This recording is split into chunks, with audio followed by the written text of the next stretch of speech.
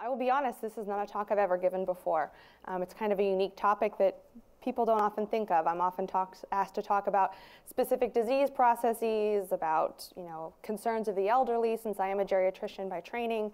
Um, but this is an important topic for patients of all ages, and so um, I'm grateful for the opportunity to talk about it, and we'll welcome your, your questions at the end. So, getting started.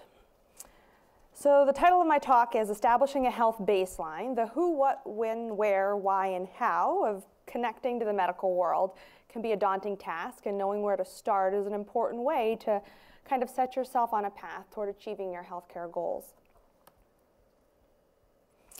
So, the case for a baseline from a slightly biased point of view. Uh, I am a primary care provider by training, and so you know I, I firmly believe in the ounce of, of prevention method of uh, approaching healthcare. Um, and so you'll need to take what I say with a grain of salt, since since that is my my wheelhouse, so to speak. But I think it's important to kind of look at why is this even important. So who needs to establish a baseline with with a healthcare provider?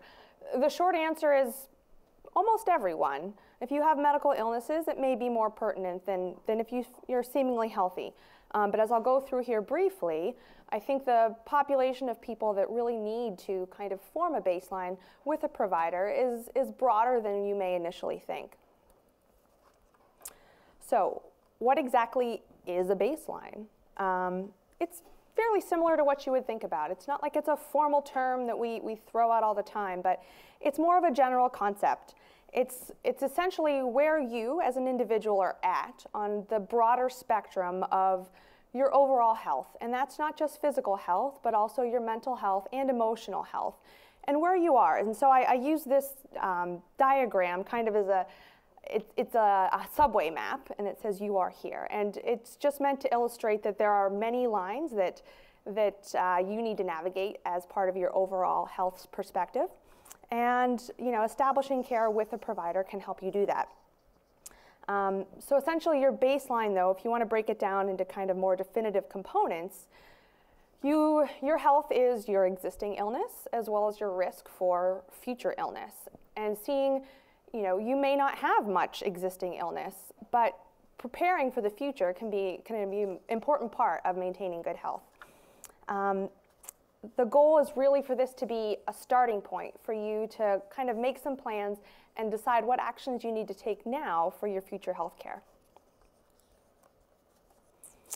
So the next question, which I've heard from my husband time and again, is why do I need to establish a health baseline? People generally don't like to go to the doctor or the nurse practitioner or PA or whoever you seek for your, your health care. Um, it can be time consuming, it can be expensive, it can be just difficult to work into your, your daily schedule and busy life. Um, you may think, I'm healthy, I take no medications, why do I need to go see somebody? And the, the short answer is because you may not stay healthy. Because although you may not have illness now, you may need to do things now to prevent illness down the road. So there are basically two components to good health. So there's the appropriate treatment of current illness, which is what everyone classically thinks that we as physicians do. Um, but there's also appropriate prevention to help prevent further illness down the road. And that's really where establishing a baseline can help improve your outcomes uh, and improve your life down the road as well. Specific things we'd look to prevent would be hospitalizations, you know, Stanford Hospital is a wonderful place, but if you can avoid hospitals in any case, you'll be better off for it in the long run. Um, medications, medical science has brought us many amazing, you know, drugs that can do wonderful things. But if you can avoid having to take anything, as a geriatrician I've seen, you're, you're better in the long run. And finally, procedures and surgeries. Although we can do amazing things with hip replacements and you know, abdominal surgeries and things like that, if you can avoid needing to have these things, it's, it's always better to avoid that kind of risk. But you know, in medicine and in science, we like to see things from kind of a data-driven perspective. So is there any evidence to show that it's worthwhile for people to kind of establish a general healthcare baseline?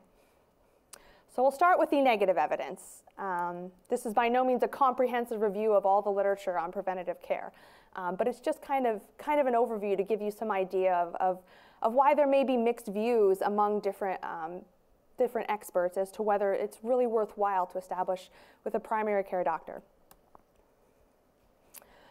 So uh, one good source I found was a meta-analysis. It consisted of 14 randomized controlled trials, which are considered excellent when you're reviewing medical literature. Um, it looked at 182,880 adults.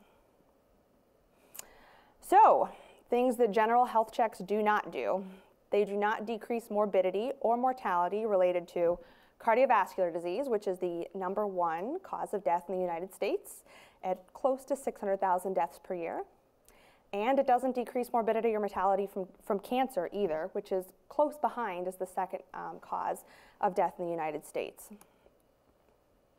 They also do not create changes in the rates of cardiovascular disease, rates of cerebrovascular disease, so strokes, TIAs, if you've heard things like that, or rates of cancer. And from a strictly business standpoint, there's no change in the rate of those costly hospital admissions, um, in the number of referrals to specialists, or in the number of work absences. So, not a great case I'm making so far. The one thing that was proven to be changed by you know, having people get these general health exams, you do increase the overall number of diagnoses that you give to people, which is true. If you go to see a doctor or uh, whatever primary care provider you see, chances are you're going to walk out with a diagnosis or two that you didn't have when you walked in. But it's not all doom and gloom. Primary care is not going out of business anytime soon because there are still many good reasons and good scientific evidence behind it. So, first start by looking at kind of the limitations of these negative studies that we've had that just painted this terrible picture of kind of doing this preventative health type check. So a lot of the trials that I referenced there in that meta-analysis, they're older trials done anywhere from 1963 to 1999. They really don't account for potential benefits of newer advancements and treatments that we have, for instance, screening tests and things like that. We have come a long way over the decades since 1963 and what we can do to help improve people's care. And these studies simply don't take that into account. Um, the settings of the exams for many of these studies, it wasn't that they went into Dr. Jones's office down the road and looked at his patients and saw how they turned out. It was they collected subjects, they um, put them through a routine screening with a person they had never met or formed any sort of relationship with who probably had limited information regarding their past medical history, family history, social history, et cetera. And they looked at the basic scientific outcome very different than the general scenario in a primary care provider's office. And then there's the, the usual reasons I call them for why trials are bad. Sample sizes, bias, statistical analyses not being ideal. All the usual reasons we call into question many of this data that we are so driven to, to look at closely. Survey says, in a survey done by the American Academy of Family Practice, again a little biased, 66% of patients prefer to have an, an, annual physical exam. And I, I have this happen all the time in my practice where I have patients come in and, and I'll say, what can I do to help you? What's your, you know, what can I help you with today? Do you have a complaint, concern? What can I do for you? And they say, I'm just here for my annual checkup. And it's not often that happens, but when it does, it, it really drives home this idea that people just want to make sure things are okay. And this somehow we have it in our head that once a year is the time to do it. Maybe that part of that comes from insurances encouraging you to get your annual exams, et cetera, et cetera. But um, people do like the idea of having an annual, an annual physical.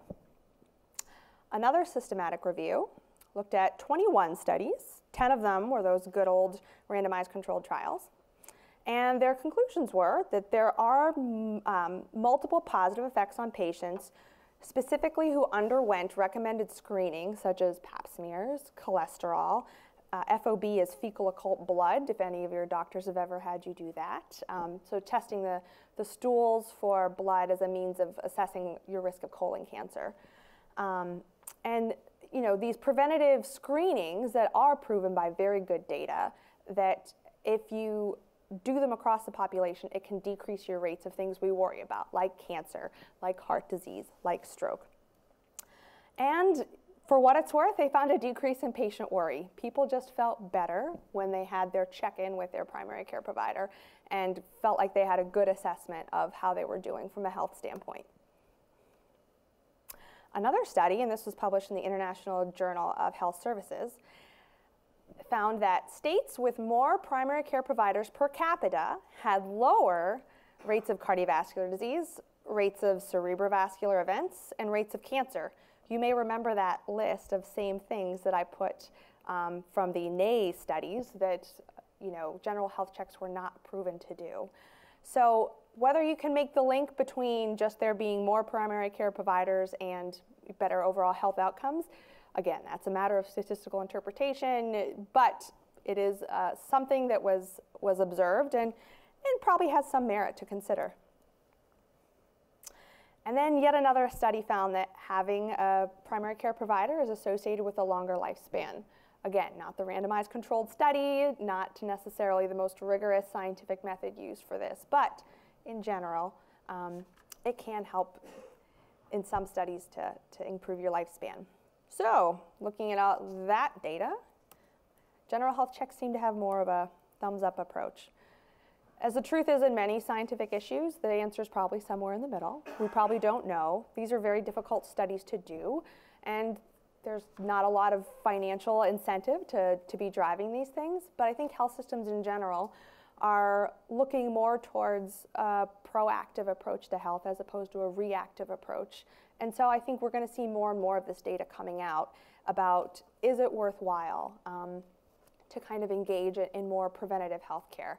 I think a lot of the data right now is coming out of the UK um, because with their um, single payer system, they need to know is it worthwhile for us to screen you know the entire population uh, of, a, of the health system? Is that is that a financially reasonable thing to do? So what do you do? Well uh, next i want to give you some reasons of how a health baseline um, can really help you know, show tangible outcomes for you. Not just you'll feel better, maybe you'll live longer, maybe you'll have a less risk of a heart attack, but, but what can it do for you? So who knows who these ladies are? So we have Mary Tyler Moore, who is one of my all-time favorite people. Halle Berry, a, a starlet of herself. Anybody know what they have in common? They both have diabetes. Very good. So they both have very similar stories too, where, I mean, they are not the typical picture of diabetes. Um, they are thin, fit young women who were diagnosed with diabetes at a very young age. I think, um, you know, Halle Berry's story is much more dramatic, where she was feeling fatigued and all of a sudden she went into this coma and no one knew what was wrong with her and it turned out she was a diabetic. Mary Tyler Moore has a much more reasonable story, which was she was busy acting and she just wasn't feeling quite right. And she went into the hospital for another unrelated procedure. And they found that her blood sugar was over 700, which normally our blood sugars run in the 100, 200, 300 range even after we've eaten. So, really high blood sugar. And that's how she found out that she was a diabetic. Neither way is an ideal way to find out that you have a debilitating disease like diabetes. But although I call it debilitating, it's also very treatable and is something that can be very well managed if you have a good relationship with your provider that is managing this disease for you. And diabetes aside, it, more broad general health issues, you know, a, a, the goal of a health baseline would be to help you, you know, prioritize what are your actual issues that you'd like to address and goals that you'd like to achieve and what's going to be an effective intervention for doing this? You know, let's say that your goal is, you know, I just I want to lose some weight. I put on some weight, you know, in in my 30s after I had my babies and I just would like to lose some weight. And, you know, rather than just doing another fad diet or yo-yoing and starving yourself and then ending up just binging on sweets later, you know, talking to a, a primary care provider can help find a more reasonable approach to meeting your healthcare goals. So, when should you have this done? How often do you need to see a doctor? How often do you need to have regular follow up? And as the answer so often is in medicine, it depends. If you have multiple chronic issues that need to be managed, if you have you know, recent illness, recent surgery, you may be seeing your, your primary care provider on a more regular basis. You may also need to be seeing other providers. However, if you're 25 years old, you have no real medical history, you have low risk factors, and you just are out of that window where you know we start our lives being dragged to the doctor's office by our parents because we need our immunizations and they check our weight and our height and all of those good things. And then as we move into high school, we have the mandatory school physicals, sports physicals, et cetera. And then in college or you know whatever your post high school life is, you are just busy and young and think you're invincible and don't care. And then somewhere along the way, you get a job, and either your job makes you get a physical or you just kind of fall off the radar of the medical world. And many people stay off that radar for decades until something happens. And what I'm hoping to you know, get across to you today is may not be the most efficient or effective means of, of really taking control of your health and, and preventing long-term outcomes. So the, the answer is it depends. But the most important thing to know is that there are recommended routine preventative services like mammograms, like pap smears, like colon cancer screening that need to be done regardless of how frequently you see your primary care provider. And so staying in touch with them, having someone that, that is you know, keeping tabs on you, so to speak, can help make sure that these things do get done. Because regardless of whatever data I've shown you so far, there is excellent data that these type of preventative interventions do make a difference in people's uh, long-term morbidity and mortality. So, I'm going to assume that I convinced you all that you should go see a primary care doctor. Um, and so the next thing I'd like to talk about and kind of switch gears a little bit and do is talk about what should, what is that first visit going to look like? Whether it's, you know, you haven't been to the doctor in 15 years and you don't even know where to start, or it's you've moved to a new area, or you've just switched, you know, switched providers. What can help you get off to a good start as you're trying to establish this healthcare baseline? Especially if you feel like you're healthy, you take no medicines. Where do, what do you even say? Are you just going to awkwardly sit there in silence and wonder if they're going to make you put a gown on and you know hope that they don't you know give you a shot today, or, or are you going to take some proactive steps to make it a useful visit for you and for your provider? So, step one, the most important, find the right person for you. It can make a huge difference on how you view the medical system, view your health, and how, how you interact with it down the road um, if you find the right person. Um, so the first one I said is, is provider. So there's a million doctors out there you can see. Some patients I have, they've, they've just followed with a cardiologist who's become like their primary care doctor over the, over the decades, and that's who they trust. And they came to my office in the geriatrics department because they were in the hospital and the discharge planner referred them to me, or their daughter thought they needed someone else and they dragged them into the office you know, there's, there's a lot of reasons, but, you know, if you're, you know, if you're, obviously if you're a child, then a pediatrician or a family doctor may be a better option for you. If you're kind of in that middle age range, then you think maybe a family doctor, maybe an internist. And then as you get older, maybe you've had your same internist for 20, 30 years and you're perfectly happy and that person's not retiring anytime soon, so you're okay to stick with them. Or maybe you worry that your health is getting more complex and that you are concerned about the issues that go along with, um, with growing older. And so maybe a geriatrician may be a better option for you. Finally, some, you know, some women in their childbearing ages, their obstetrician gynecologist ends up serving as their primary care doctor. Whatever the provider you choose, it's, it's important that you uh, feel comfortable with them and that you, you know, are willing to kind of establish a long-term relationship with them um, so that you have that continuity of someone who knows you. Um, number two is an important one that we see all the time. It's insurance coverage.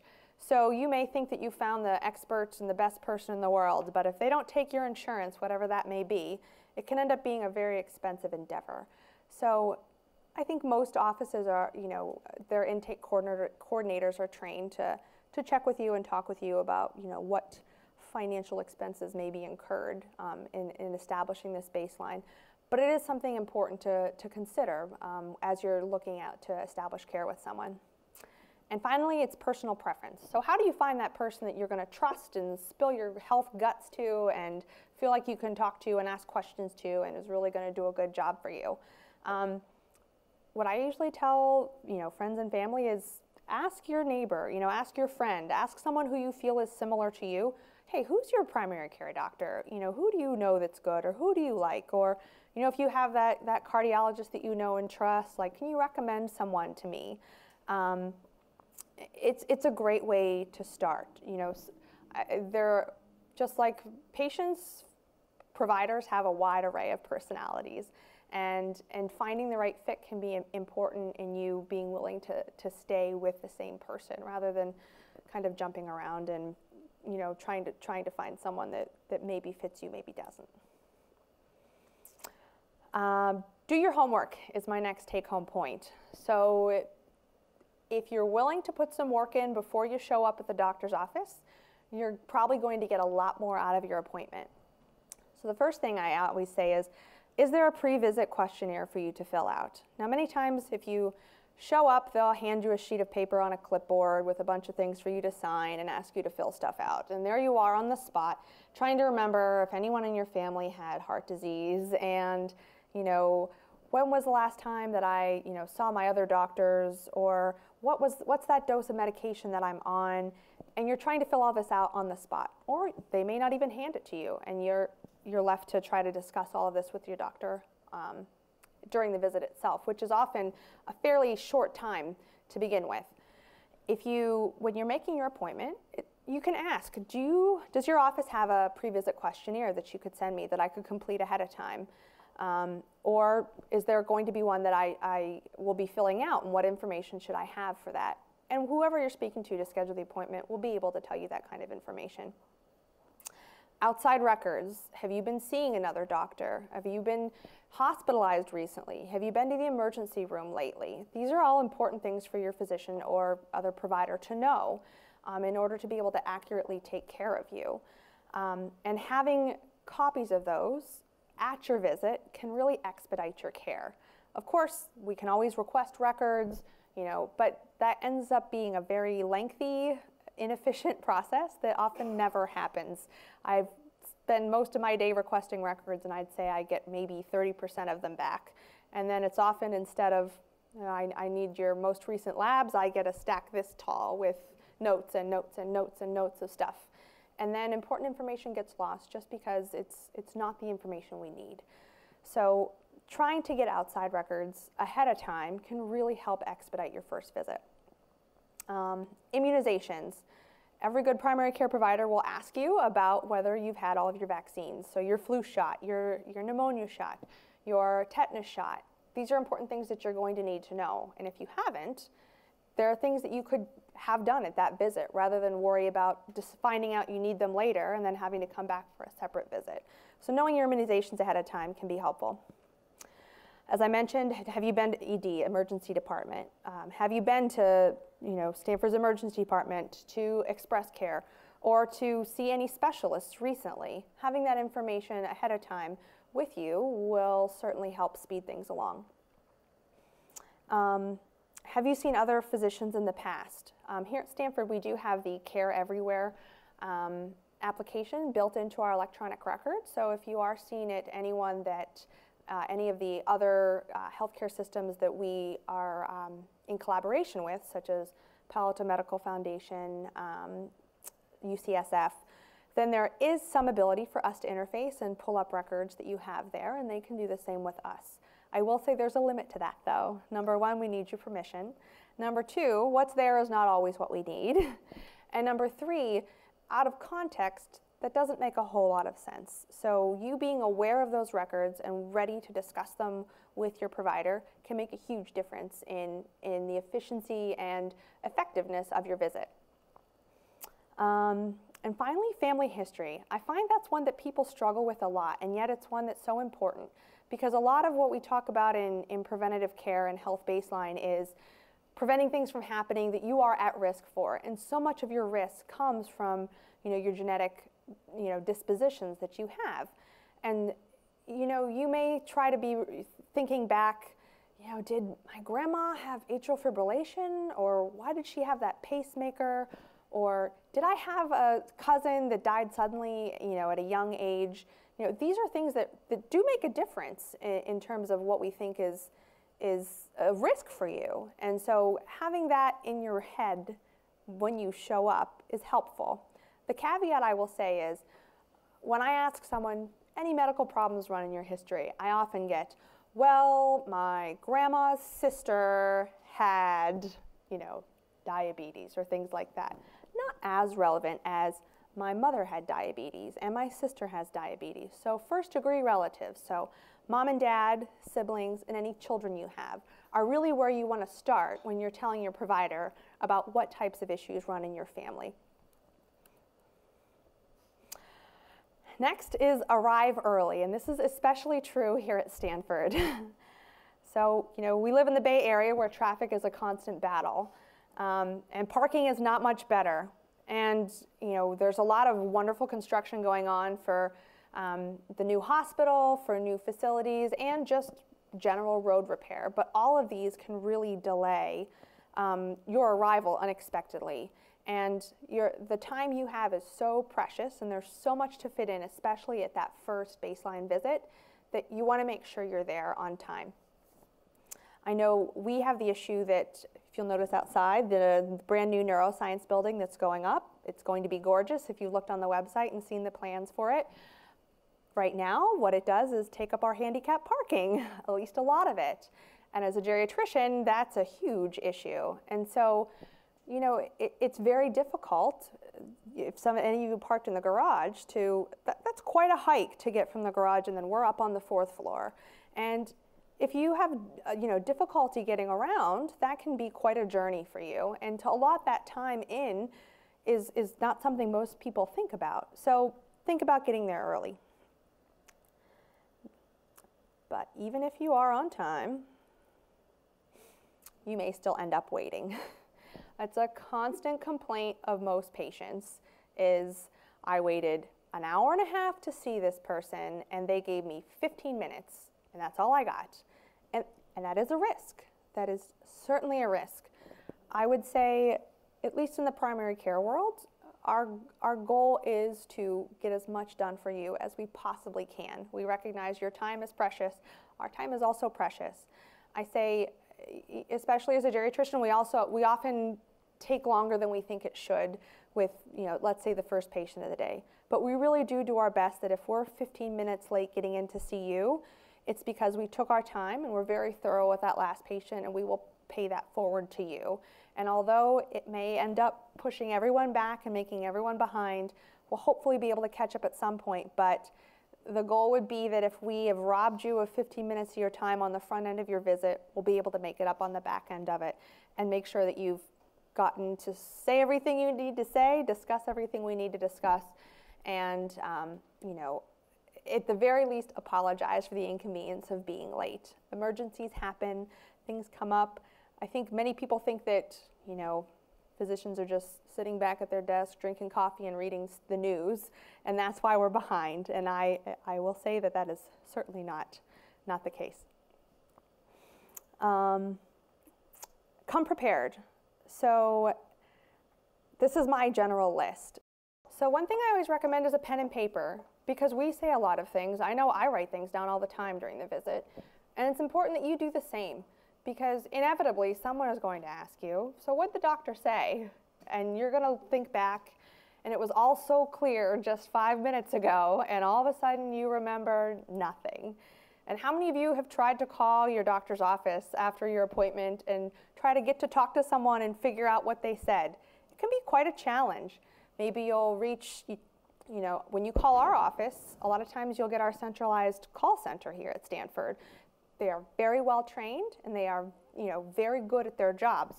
But they're not the person that just saw you who could answer quickly and say, oh, I said take two of those pills instead of one. And so it, it can create a lot of extra legwork on your part. So take a pen and paper, write things down. It, it can be helpful not just writing down what your provider tells you, but also questions that may come up as your provider is talking to you that you can remember to ask later. Um, try to have a list of questions and concerns ahead of time um, because that will help drive the visit to you getting the answers you need. Many times people come in with a list of 20 things and I'll say, let's give me your top three and we'll get through those today and I promise we will get to the rest when we can. So having those things in mind can help make sure that you get your questions answered and your most pressing issues addressed. Bring your pill bottles. If you are on medications, there is no substitute for having the actual bottles with the doses, with the pharmacy you filled it at, and with how many pills you actually have left. Uh, for some of my patients, that's almost a trash bag full of pills, but it's worthwhile in terms of accuracy since medications are not something to be taken lightly. They are a chemical substance that can affect your body, and if taken incorrectly, can have major detrimental effects. So having your physician or other provider having an accurate picture of what you're taking and how it's going is really important. So although it can be a pain, and although it may mess up your pillbox system or whatever you use, try to bring your actual bottles in addition to your list of medications with you. Um, I always say bring a calendar because inevitably you're going to have to schedule something, whether it's a test or a lab or a follow-up appointment. Have your calendar with you so that you can get that on the books and it's not something that's going to fall by the wayside and all of a sudden you, it's six months later and you were supposed to follow up in three months. So bring your calendar with you. Um, it can be worthwhile to check ahead of time um, if you need to be fasting that day. Your doctor may be ordering labs. And although with new technology, there is rarely a time when you need to fast, but in some circumstances you do. In those circumstances, I recommend getting an early appointment because you don't want to show up fasting to a 2 o'clock appointment and then have your doctor be behind by 40 minutes and you're starving. Um, and speaking of that, I always say bring a snack. That's my general motto in life is bring a snack because you just never know what's going to happen. And I don't know about the rest of you, but I don't get more impatient or angry when, than when I haven't eaten in a while. And and it can be a while. It can be a never-ending journey when you are, have a doctor's appointment for the day, um, but it's worthwhile. And the one caveat I want to add is when you talk, tell your provider what I'm taking, it's not just what they've prescribed you. Do you take things like Tylenol, Advil, other over-the-counters, any vitamins you may take, and any supplements you take especially? Not only is it important just for the accuracy of what you're taking in, but sometimes these things can interact with other medications you're taking. Things like Advil, as a geriatrician, I hate Advil. It can be very dangerous for the kidneys. It can cause bleeding ulcers. It can do terrible, terrible things to older people. And so I, I, I just had it happen last week where someone happened to mention, you know, I was looking at their kidney function and it seemed like it was kind of creeping up and they're like, oh, I take an Advil to help me sleep sometimes. And you know, you think of it offhandedly. I buy it at Walgreens. It's on the shelf. I can buy it, but they can have major effects. So letting your provider know exactly what you take is critical um, for their decision-making process. So, what do you expect? Anybody know who that is? Do we have any Downton Abbey fans in the room? That's Dr. Clarkson. I love him. Anyway, um, he's definitely the, the old school physician who goes the extra mile for his patients, and, and uh, he's an excellent role model for, for pro providers everywhere. Um, but, but so what do you expect when you get there? We talked about the traffic and the construction and the waits and the, you know, everything that might happen. Um, be expected that you may need to have lab work done. So have blood drawn and evaluated. Um, some of it is just routine screenings, like as we mentioned earlier, having your cholesterol evaluated. Um, but there may be needles involved. Some people are fairly squeamish about needles, um, but it's, it's an important thing to do if it is ordered. Here at Stanford, we have the luxury of, if you, for instance, are seeing anyone in internal medicine, family medicine, or geriatrics here in this building, the lab is on the first floor. So I can tell my patients go to the elevator, get off on the first floor, turn left. And right there is our lab. Um, it also makes things very easy in terms of getting results back to me quickly and allowing me to discuss what these results mean with patients. Um, sometimes it's a little more of a hike um, to, to get to the lab, but just keep in mind that you may be asked to do labs right away or to plan to have them done in the future, again, where that calendar comes in handy. Um, will you need any studies? This is a, an important point that I, I would like to drive home is that you, you may have x-rays ordered or you know, a CAT scan or an MRI or various different imaging or other procedures that your provider may order for you. Everyone is different in terms of how it gets scheduled. Let's say I order an x-ray of your chest. If you come to my office, you could still come right downstairs and get that. But if I order an MRI, then that's a different process. Sometimes you call them, sometimes they call you, and kind of knowing the logistics of how is this going to happen are an important thing to ask your provider because you may be sitting around for weeks waiting for the MRI department to call you and schedule this procedure, and it may not happen. And if that doesn't happen, then it's important to check back with your provider on were they supposed to call me? Did I miss the memo that I'm calling them? What's the number for them, etc. And and there you have delayed care, delayed evaluation, and you know possibly delayed treatment. So if you're if something is ordered, try to be very specific in asking, should I expect a call? Maybe tell your provider what number should they be calling. For some of my older patients that are hard of hearing and you know, may not have the, the memory to be able to schedule things themselves, I may put in their referral. Please contact daughter and put her name and contact information in when I place the referral. So having that information ready to go and thought about when, when things are ordered can be very helpful. Also, you may need a shot. Everyone's, you know, from, from the time you're young, you, you dread immunizations, and, and there again, the needles can be a fear. Um, but they're also one of the most important things that you can do, not just to protect yourself, but to protect others. I often have patients tell me, you know, in the geriatric world, I've never had a flu shot, I don't need a flu shot, I'm fine.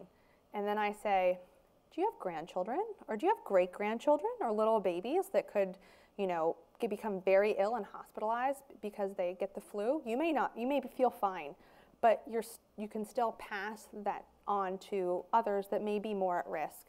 So when you think about and think, I've never had a flu shot or I've never had some other vaccine, why should I get it now? It's not just about you, it's about the risk of those around you as well. Um, the other caveat I'll add is it often helps to wear short sleeves to your doctor's appointments because they will need to get to your arms and listen to your heart and lungs, and so um, try to dress appropriately when you go. And finally, referrals. Um, we have excellent, some of the world's top specialty providers here at Stanford. And the question is, should you see them? There's, there are doctors and providers for just about every specific problem you could possibly think of. But is it, is it really worthwhile? And the caveat I always say is, specialty care is not always the answer. The more, and the illustration I have here is just, you know, the idea of too many cooks in the kitchen. So when you start fragmenting your care among other people, I mean, the job of your primary care provider is to be the quarterback, so to speak. So to keep tabs on who you're seeing, what they say, how things are changed. But when you have one person that's, you know, your hypertensive spe specialist in the cardiology department, and they make some change to your blood pressure medication. And then you see the kidney expert in the nephrology department, and he says, Oh, your kidneys can't handle that medication. Let's change the dose on that again. And then by the time you come to see me for your follow up, I have no idea what dose you're supposed to be on, or, you know, it, it becomes very difficult as a provider to figure out what's going on, much less as a patient trying to understand all of this. And so, the more that you can have managed by one provider, the better. And if you do need to see, you know, other specialists, I think that's reasonable and that's fine. But just keep in mind that complications come with that. The one thing I would say, and this is not me promoting Stanford or saying you need to do, get all of your care at Stanford because I'm biased towards Stanford. I say that if you are going to see specialists, it should try to be within the same health system only because it's easier to keep track of everything if, if I'm seeing you in the Stanford system and you had an MRI at Sequoia Hospital and then you had, uh, you had your gallbladder out at El Camino Hospital, that's much more difficult for us to track down all the details regarding that and what medications got changed when and what you should be on or not on than if You had all of it done here, and I can simply go into your chart and see what each of those things were that happened, what the outcomes were, and make an informed decision about what should you still be on, what follow-up do you need, and where do we go from here. So that's the general overview of, of what, what you need to think about when you're at your, at your first visit, if you do take my advice and, and consider really establishing a healthcare baseline. Um,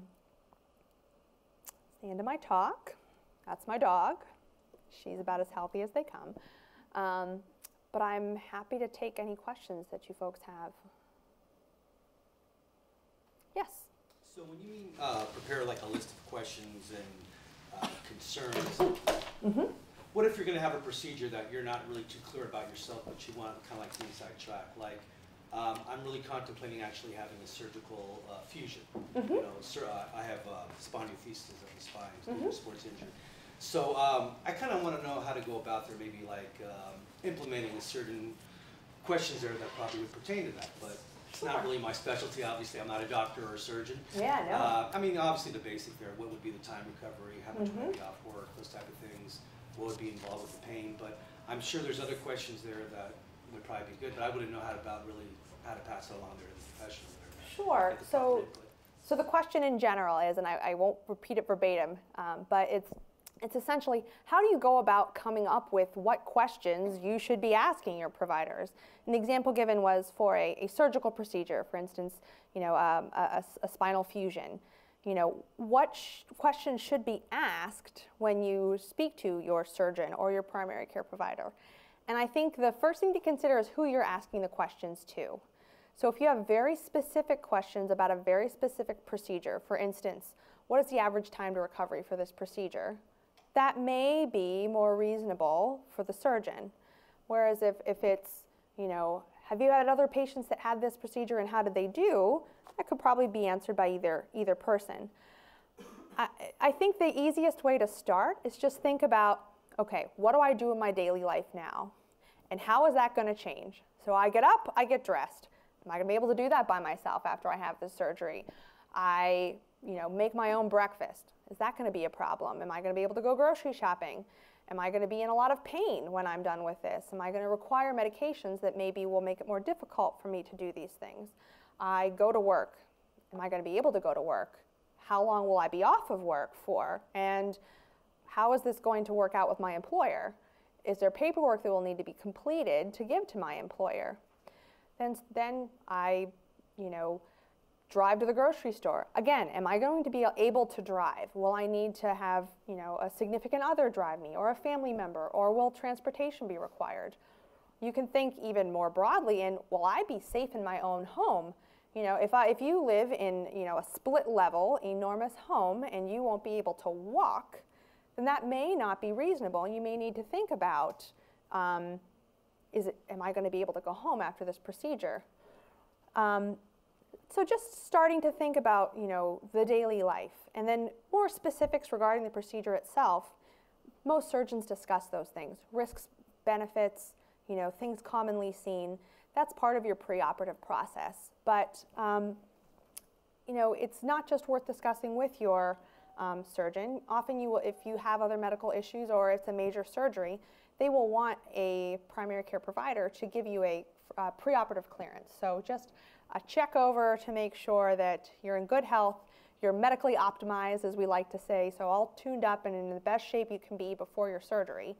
And um, and there, so it's helpful if you have someone who knows you, who's been following you, and can say, you know, your blood pressure has been a little high for a while, but it's been pretty stable. I don't think there's a need to change your medications now. And I think you can continue to take these medications until the day before your surgery. Come see me when you're done, and we'll talk about your blood pressure medicine again. As opposed to you walk into someone's office who's never seen you before, you're nervous, you're having pain from whatever's wrong that needs the surgery, and your blood pressure is through the roof, and then that person is left to wonder does this guy have chronic high blood pressure, or is this just a situational thing? And so things like that can make a real difference in, in how you approach your surgery. Um, Yeah, I, I mean, with specific, I mean, um, with this specific, specific procedure there, it seems very invasive and Mm-hmm. I should have had it done years ago. Mhm. Obviously, age is not on my side, so it's even a little bit more significant because I Mhm. had this when I was actually a teenager.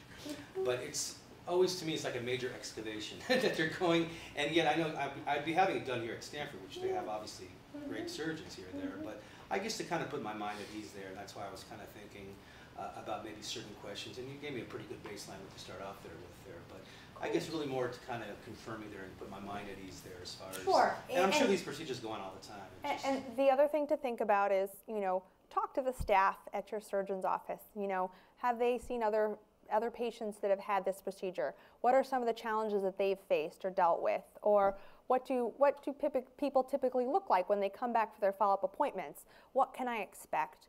And then, of course, there's always your own risk-benefit evaluation. Is it worthwhile to um, to even have this invasive procedure? And and that's again a discussion, a dialogue that should be had. Yes, sir.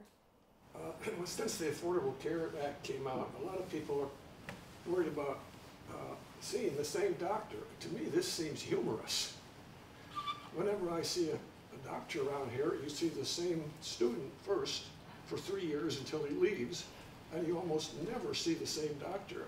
I had, have no idea who would be a primary doctor, because each time you see the student for maybe 10, 15 minutes, and then you see the the, the doctor who happens to be there that day for two or three minutes. Isn't that the way things work here, or, or am I not understanding what I should be doing? So this gentleman is voicing the common concerns of many people that are part of the clinics that are primarily staffed by trainees here. So medical students, medical residents, and fellows.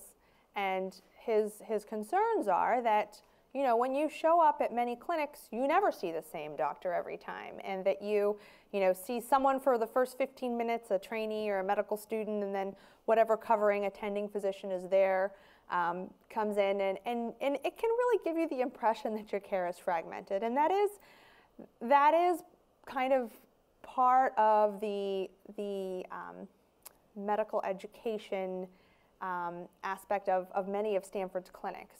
Um, it can be difficult. I'm happy with that. Because you do get to see different, different doctors and Right. dif- and different ideas, and they say, and I think it's probably true, all, all the records are there. Right. When they turn on the computer. Right. And so they have more available than if you saw the same doctor who has forty patients and might Mhm. not remember everything. Yep. So he just made the excellent point of the, the pro side of having a trainee clinic, which is you have, although it's different people, the, with, the, with the advancement of medical records, they're able to review everything that is, has been done by previous providers. Many times, because they're seeing the patient for the first time, they've done a more thorough review than of a physician who may be used to seeing you and hasn't been as, as, as uh, up to date on the records and you get a fresh perspective on on your medical care and what they think. And there is a continuity that is built into having this record that's available for whatever provider is there um, reviewing your, your chart. Um, so there are pluses and minuses to do it. I think the important thing is to know what do you prefer? Are you okay with you know helping to enrich the education of a, of a medical trainee at the expense of the continuity of seeing the same person? Or are you someone that really wants to see your you know your doctor your np every time and then um, you know have that kind of continuity? And, and i think that's something to consider. Both types of practices exist here and in other health systems around around the area. And just keeping that in mind um, as you're as you're pursuing who you'd like to establish your care with is, an, is certainly an important consideration Stanford patients have a regular doctor as opposed to those who have uh, the clinic? So we asked what percentage of um, Stanford patients have a regular, a, a regular doctor, so to speak, as opposed to uh, a trainee clinic. I'll be honest, I don't know that. That is not a number I'm familiar with. I will say, even in my office, where I am the primary provider and see most of my patients most of the time, I do have fellows with me once a week. I do have medical students that come through, and so even though I would say I'm probably not in that trainee clinic setting, there's still a chance that if you came to see me, you would see a trainee first. Um, I, I, think the take-home point there, though, is that again, the if you keep your care within one location where all the records are there, it certainly does help to form some form of continuity, whether it's the same person or just the, the same chart there that can be reviewed. Does that make sense? Yeah. Question?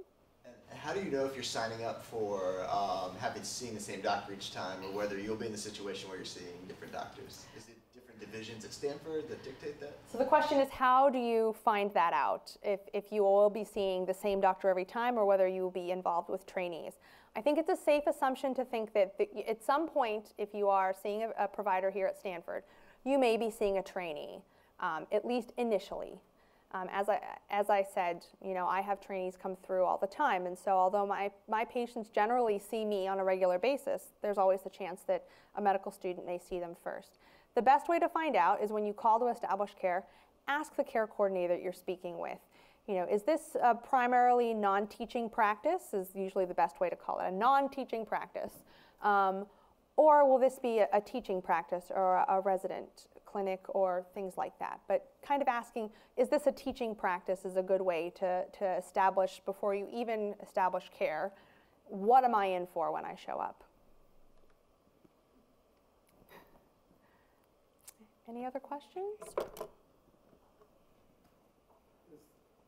I called up one time and asked if they can transfer records between those three places you mentioned. And the medical records department said they didn't know when I called them. You know? Do you know if, if they, if the medical records kept at uh, Palo Alto Medical Clinic, UCSF, and Stanford have the same program more or less? So the question is, if you have records at Palo Alto Medical Foundation, UCSF, and Stanford, are they really all available? Um, and the answer is technically yes. As I said, we have through Epic, which is our, Epic is the name of our electronic medical record that we use. And those other entities also have Epic. And there is a, a, a it's, it's fairly recent. I will say we're probably in the beta testing if, if, version, although they may say otherwise, of, of this Care Everywhere program where theoretically I should be able to pull up your records from all of those places by logging into your chart in, in Stanford's Epic system again, as you implement technology, there's always, you know, a, a, difficulty. Not everything will be there. Certain things may not be present, especially if they're older. You know, the Care Everywhere only covers a certain chunk of, of your chart. So if you've been seeing someone at UCSF for 20 years, we may only have your last five years worth of information from that provider. So it's not perfect. There is still going to be forms to sign, faxes to send, you know, stacks of paper to sort through. It is not a perfect system by any means.